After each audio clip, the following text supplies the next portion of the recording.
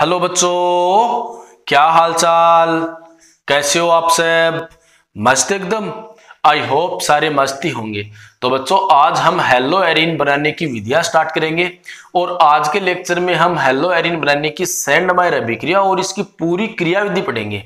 तो लेक्चर बहुत इंपॉर्टेंट है, ध्यान से समझिएगा और आप कॉपी पेन उठा लो ताकि आप इसके प्रॉपर नोट्स तैयार कर सको। तो बच्चों लेक्चर स्टार्ट करते हैं। मैं हूँ रघुवीर सिंह करनावत और आप देख रहे हो आर एस करनावत ट्यूटोरियल्स तो बच्चों सेंड मायर अभिक्रिया में सबसे पहले बात आती है कि हम क्रियाकारक क्या यूज़ करें। तो बच्चों, इसमें क्रियाकारक होता है डाई एजोनियम लवण। इसमें क्रियाकारक होता है डाई एजोनियम लवण। डाई एजोनियम लवण। अब बच्चों डाई एजो ग्रुप का मतलब है कि दो नाइट्रोजन ठीक है ना? अब देखो, दो नाइट्रोजन किसी के साथ लगे हुए ना, तभी वो डाई जो है। अदरवाइज़ तो ये नाइट्रोजन गैस है। ठीक है ना? कि दो नाइट्रोजन किसी के साथ लगे हुए हैं तो वो डाई जो ग्रुप है। अदरवाइज़ तो ये क्या है? नाइट्रोजन गैस है। और डाई जो तो ये हो गया। नियम का मतलब कि नाइट्रोजन पर क्या होगा? प्लस चार्ज होगा। तो डाई एजोनियम का मतलब तो समझ गए, और लवण का मतलब क्या है? लवण का मतलब है कि कोई ऋणायन भी साथ में होगा। ठीक है? अब ऋणायन में देखो हेलाइड भी हो सकते हैं सल्फेट भी हो सकते हैं। ठीक है ना? नाइट्रेट भी हो सकते हैं। ठीक है? तो हम यहाँ पर हेलो एरिन बना रहे हैं तो हमें हेलोजन चाहिए। कहने का मतलब यहाँ पर क्या होगा? हेलाइड होगा। तो हेलाइड में हम क्लोराइड मान लेते हैं। ठीक है बच्चों? अब देखो डाइएजोनियम लवण होता है दो प्रकार का। एक तो एल्किल डाइएजोनियम लवण, कहने का मतलब एल्किल समूह जुड़ा होगा। एक होता है एरिल डाइएजोनियम लवण, कहने का मतलब एरिल समूह, यानी कि एरोमेटिक समूह है, जुड़ा होगा। तो एरोमेटिक में हम बेंजीन मानते हैं। क्या मानते हैं? बेंजीन ठीक है बच्चों? तो ये यहाँ पर बेंजीन हो गई। ठीक है? तो ये अपना हो गया बेंजीन डाइएजोनियम लवण। तो बच्चों सैंडमायर अभिक्रिया में यह क्रियाकारक होता है बेंजीन डाई एजोनियम लवण। आ गई बात समझ में। अब बच्चों, देखो सैंडमायर अभिक्रिया करने से पहले जो इस पर बहुत बड़ा क्वेश्चन आता है, वो आपको पहले बताता हूँ कि सैंडमायर अभिक्रिया द्वारा हम हेलो एरिन ही क्यों बनाते हैं? ठीक है ना? सैंडमायर अभिक्रिया द्वारा हम हेलो एरिन ही क्यों बनाते हैं? हेलो एल्केन क्यों नहीं? ठीक है ना बच्चों? तो देखो क्वेश्चन क्या है कि सैंडमायर अभिक्रिया द्वारा सैंडमायर अभिक्रिया द्वारा हेलो एरीन बनाई जाती है। हेलो एल्केन क्यों नहीं? ध्यान से समझना बच्चों। हेलो एल्केन क्यों नहीं? तो देखो, अगर हमने बेंजीन डाइएजोनियम क्लोराइड लिया है ना तो हेलो एरिन बनेगी। अगर हम इसकी जगह एल्किल डाइएजोनियम क्लोराइड ले ले, जैसे मान लो ये ले ले हम C H three N triple bond N और सी एल माइनस तो ये देखो, एल्किल मैथिल समूह, एल्किल समूह हो गया ना, ये मैथिल समूह है, ठीक है? तो इससे बनेगा हेलो एल्किन, जबकि अगर हम ये डाइएजोनियम लवण ले ले। तो इससे बनेगा हेलो एरिन ठीक है बच्चों?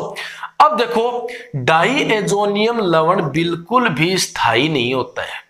ठीक है ना? डाइएजोनियम लवण बिल्कुल भी स्थायी नहीं होता है, क्योंकि इसमें दुनिया का सबसे बड़ा अवशिष्ट समूह लगा हुआ है। लिविंग ग्रुप लगा हुआ है।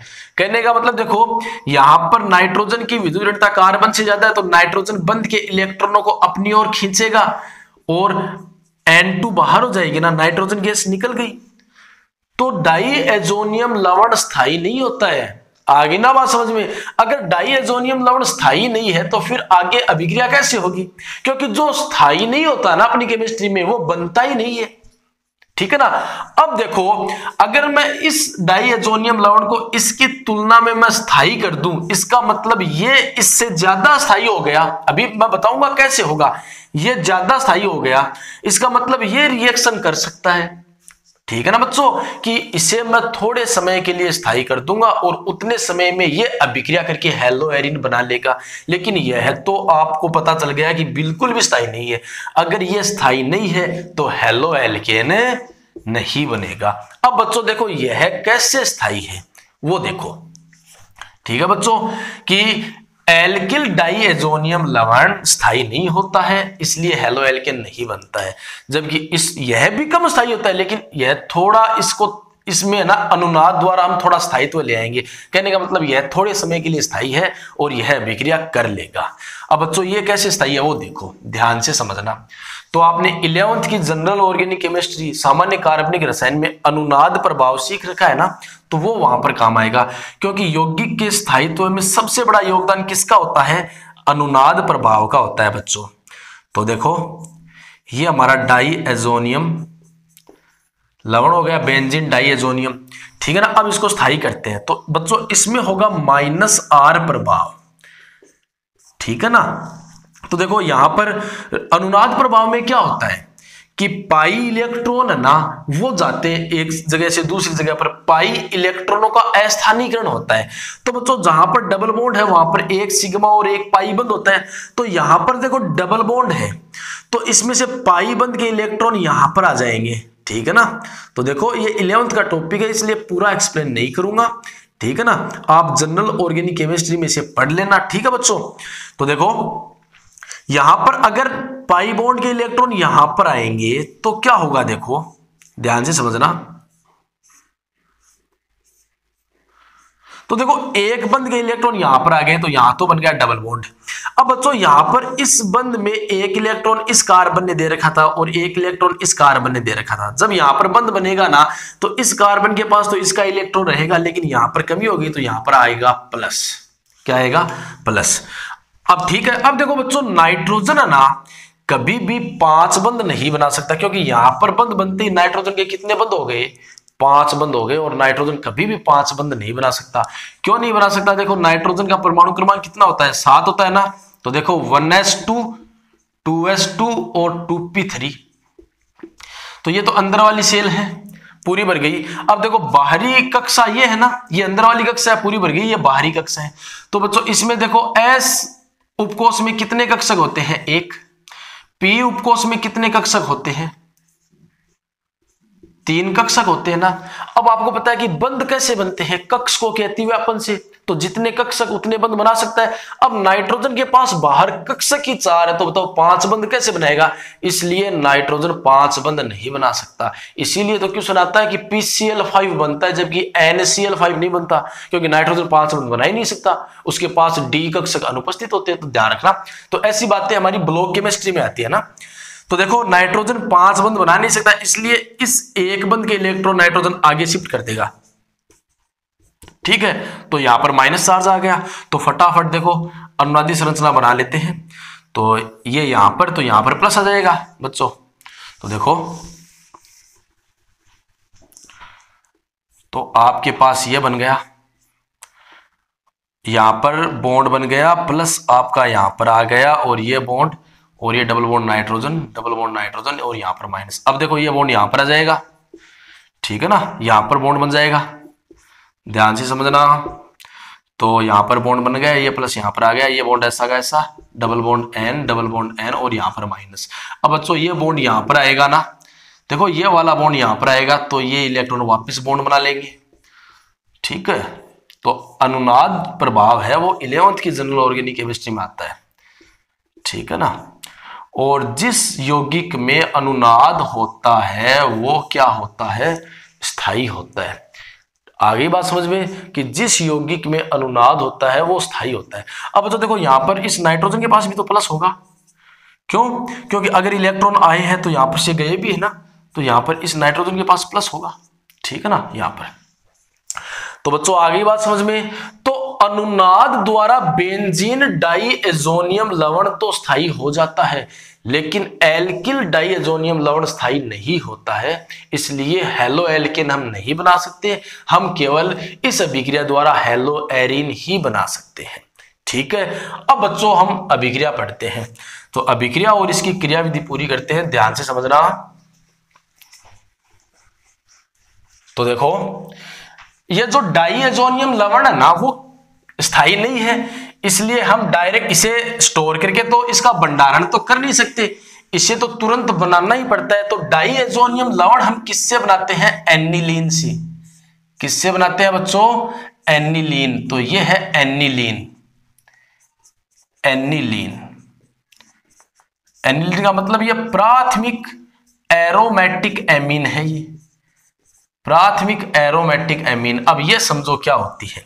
देखो, अमोनिया से अगर हम एक हाइड्रोजन हटा ले, अमोनिया से एक हाइड्रोजन हटा ले, और कोई एल्किल या फिर एरिल समूह जोड़ देना तो प्राथमिक एमिन बनती है।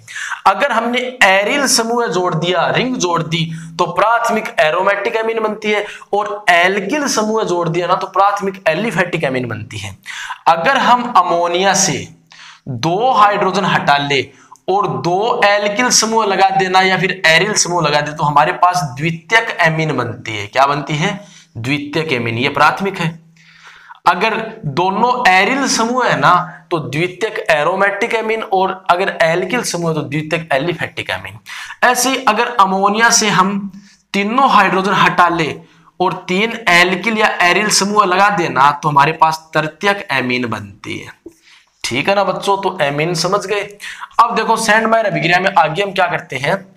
हम लेते हैं सोडियम नाइट्राइट और HCl अब बच्चों, ये लेते क्यों हैं? क्योंकि सोडियम नाइट्राइट और HCl मिलकर के ना, क्या बनाते हैं? देखो NaCl बाहर HNO2 बन गया। क्या बन गया? HNO2 और NaCl बाहर हो गया। तो हम ये दोनों इस HNO2 यानी कि इसका नाम है नाइट्रस अम्ल। क्या नाम है? नाइट्रस अम्ल। तो हम ये दोनों इसके लिए लेते हैं। अब देखो, इसको हम डायरेक्ट डाल नहीं सकते क्योंकि यह कम स्थायी है। डायरेक्ट इसको नहीं लिया जाता है। हम इन दोनों को लेते हैं ताकि ये बन जाए। हमें काम इसका है, इन दोनों का नहीं है, लेकिन हमें ये दोनों लेने पड़ते हैं। क्यों लेने पड़ते हैं? क्योंकि नाइट्रस अम्ल है ना, नमी के साथ अभिक्रिया कर लेता है। कहने का मतलब जलवाष्प के साथ अभिक्रिया कर सकता है, ये स्थायी नहीं होता। है ठीक है? तो इसलिए हम क्या लेते हैं? एन NaNO2 और HCl लेते हैं। ठीक है बच्चों? तो इससे क्या बनेगा? डाई एजोनियम लवण बनेगा। क्या बनेगा? डाई एजोनियम लवण। ठीक है, ये नाइट्रोजन पर प्लस और ये सी एल माइनस आगे बात समझ में? और हम लेंगे cuprous halide C U C L और साथ में हमने एच सी एल तो ले ही रखा है, लेकिन हमें दिखाने की ज़रूरत होती है। एच सी एल तो हमारे पास देखो क्लोरोबेंजिन यहाँ पर बन जाएगी। ठीक है ना बच्चों? क्लोरोबेंजिन बन गई और एन टू गैस बाहर निकल जाएगी। तो ये हमारे पास, ये अपना है benzene diazonium chloride, benzene diazonium chloride chloride, और ये हमारे पास क्लोरोबेंजीन बन गई। क्लोरोबेंजीन। ठीक है बच्चों तो ये तो हो गई अभिक्रिया। अब बच्चों, इसकी हम करते हैं क्रिया विधि और इस क्रिया विधि को आप ध्यान से समझना। तो क्रिया विधि में फ़र्स्ट तो यही हो गया ना कि टू और HCl हमने ले रखा है। तो हमारे पास HNO2 बनेगा नाइट्रस अम्ल और साथ में NaCl तो इसको दिखाने की तो ज़रूरत नहीं है। ठीक है बच्चों, अब देखो ये HNO2 क्या करेगा? HNO2 को हम ऐसे लिख सकते हैं, देखो। ऐसे लिख सकते हैं। और यह HCl के साथ अभिक्रिया करेगा। क्योंकि देखो, हमने HCl तो ले ही रखा है। ठीक है? पहले HCl इसके साथ ये बना देगा। अब ये HNO2 दोबारा HCl के साथ अभिक्रिया करेगा। अब बच्चों, ये दोबारा कैसे करेगा? आपको पता है कि HCl अम्ल है और वो देगा H क्या देगा? H ऑक्सीजन के पास होते हैं लोन पेयर ठीक है ना बच्चों? तो देखो, वैसे तो मैं डायरेक्ट लिखूँगा आगे। अब ये रिएक्शन होगी कैसे, वो पहले समझ लो। तो ऑक्सीजन के पास लोन पेयर होते हैं तो वो इसको डोनेट करेंगे, देंगे। तो आपके पास ये स्पीसी बन गई ना कि ऑक्सीजन से दो तो जुड़ गया हाइड्रोजन देखो, एक हाइड्रोजन तो पहले ही था, एक और जुड़ गया। और ये नाइट्रोजन और ये डबल बॉन्ड ओ अब ऑक्सीजन ने अपने इलेक्ट्रॉन दूसरे को दिए तो ऑक्सीजन पर कैसा आवेश आएगा? प्लस आएगा ना क्योंकि अगर कोई अपने इलेक्ट्रॉन दूसरे को देता है ना तो खुद के पास इलेक्ट्रॉनों की कमी होती है और इलेक्ट्रॉनों की कमी को हम प्लस से दिखाते हैं। आगे बात समझ में? ठीक है बच्चों, अब बताओ ऑक्सीजन की विद्युत ऋणता ज़्यादा होती है कि नाइट्रोजन की? ऑक्सीजन की सिंपल सी बात है। यहाँ पर इलेक्ट्रॉनों की कमी भी ऑक्सीजन के पास ही है। तो ऑक्सीजन क्या करेगा? इस बॉन्ड के इलेक्ट्रॉन को अपनी ओर आकर्षित कर लेगा और यहाँ से H2O चलता बनेगा और आपके पास बन गया N डबल बॉन्ड O और यहाँ पर आ गया प्लस चार्ज अब बच्चों, इसको हम बोलते हैं nitrosonium ion. Nitrosonium. Nitrosonium ion. ठीक है बच्चों, अब देखो यह मध्यवर्ती के रूप में बनता है तो इसको भी आप स्थायी कर सकते हो, इसमें भी अनुनाद दिखा सकते हो। कैसे? तो देखो, यहाँ पर प्लस है, ठीक है, वो नाइट्रोजन के पास एक लोन पेयर होता है। अब देखो स्थायी करने का मतलब होता है अष्टक पूरा करना। तो यहाँ पर नाइट्रोजन के पास कितने इलेक्ट्रॉन है? देखो, दो तो बॉन्ड है, यानी कि यहाँ पर चार इलेक्ट्रॉन हो गए और ये दो छह। है ना? तो इसका अष्टक पूरा करने के लिए ऑक्सीजन अपने इलेक्ट्रॉन देगा। तो देखो, यहाँ पर क्या होगा? ट्रिपल बॉन्ड बन जाएगा। सॉरी, यहाँ पर ऑक्सीजन है। और एक लोन पेयर दे दिया।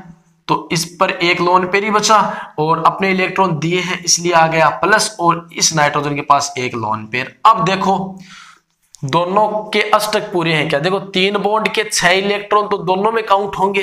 तो छह और दो आठ, यानी कि इसका भी पूरा अष्टक और छह और दो आठ, इसका भी पूरा अष्टक यानी कि स्थायी है ना ये तो ऑक्सीजन स्थायी बना, इसको स्थायी कर सकता है। इसका मतलब ये जो मध्यवर्ती बना है ना, ये स्थायी है और ये आगे अभिक्रिया कर सकता है, क्योंकि जो स्थायी मध्यवर्ती होता है ना वो आगे अभिक्रिया करता है।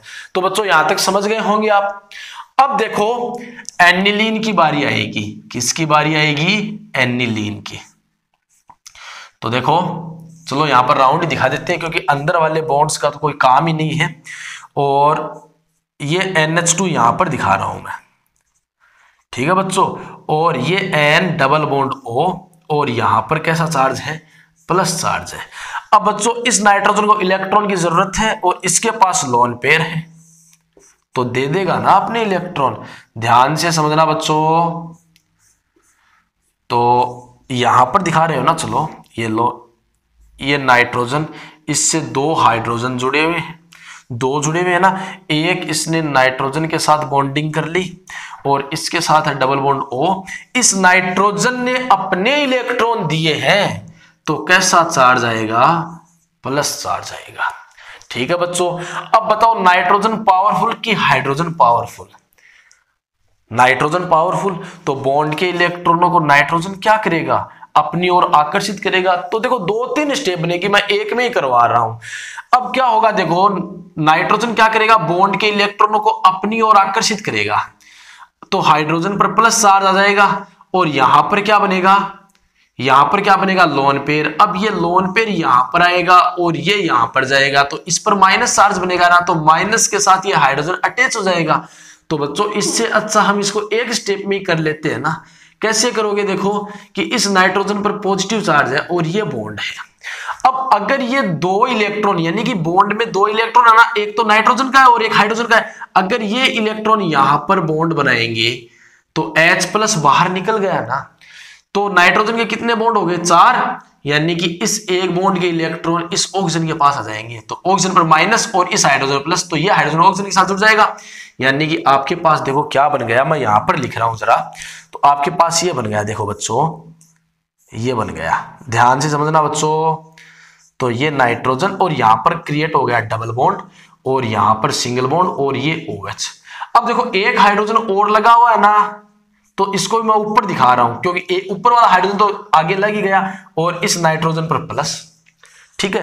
अब बच्चों, एक स्टेप और करनी है। अगर ये दो इलेक्ट्रॉन यहाँ पर बॉन्ड बनाएँगे तो H प्लस दोबारा निकल गया ना, जैसे यहाँ पर निकला था तो ये OH बाहर हो जाएगा, यानी कि आपका H2O क्या हुआ? निकल गया। और आपके पास क्या बन गया? ध्यान देना बच्चों। आपके पास देखो, यहाँ पर एन ट्रिपल बॉन्ड एन और इस पर प्लस तो अपना बेंजिन डाई एजोनियम बन गया है, बस लवण लगाना बाकी है और H2 यहाँ से बाहर निकल गया। अब बच्चों देखो, यहाँ पर आपने Cl को काम में नहीं लिया था ना, केवल H प्लस को काम में लिया था ना, अब वो Cl माइनस जो है इसके साथ मिलकर के बेंजीन डाई एजोनियम लवण की फॉर्मेशन कर देगा। ठीक है? तो बच्चों, ये हो गई क्रियाविधि। ठीक है? अब इसकी हम तीन चार अभिक्रियाएँ करेंगे। ये क्रियाविधि कंप्लीट हो गई है तो फटाफट आप स्क्रीनशॉट ले लो और इसको आप खुद एक बार प्रैक्टिस करना ताकि ये पूरी की पूरी आपके तैयार हो जाए। तो फटाफट स्क्रीनशॉट लो। आगे हम इसकी अभिक्रियाएँ करते हैं। तो बच्चों, अब देखो, डाइएजोनियम लवण से अलग अलग हेलाइड बनाते हैं। तो ये तो हो गया अपना बेंजीन डाइएजोनियम क्लोराइड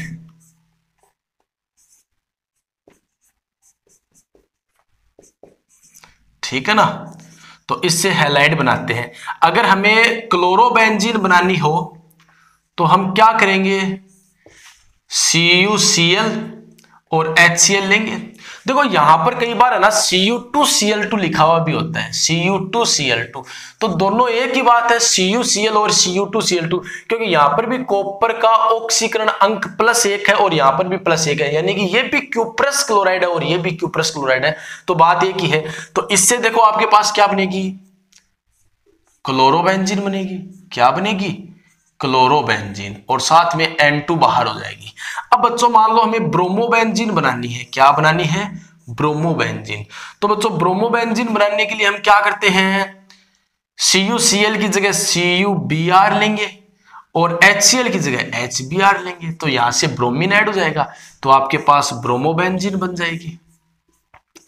ठीक है बच्चों? तो ये ब्रोमोबेंजीन और एन टू बाहर। अब बच्चों देखो आयोडोबेंजीन बनानी है तो आयोडोबेंजीन यहाँ से ऐसे नहीं बनती है। तो बच्चों, ये ना, ये ही केवल सेंड मायर रिएक्शन है। ठीक है ना? तो ये क्या है? सेंड मायर अभिक्रिया। अब देखो आयोडोबेंजीन के लिए हम लेते हैं पोटेशियम आयोडाइड। क्या लेते हैं? Potassium iodide. तो यहाँ से देखो, पोटेशियम और सीएल के सीएल बाहर और एन टू निकल गई तो आयोडीन बची ना तो आयोडीन इसके साथ ऐड हो जाएगी। तो ये अपनी बन गई आयोडोवेंजिन ठीक है iodobenzene plus N two plus K C L ठीक है, ये पोटेशियम और ये chloride, potassium chloride N two बार और आयोडोबेंजीन बन गई।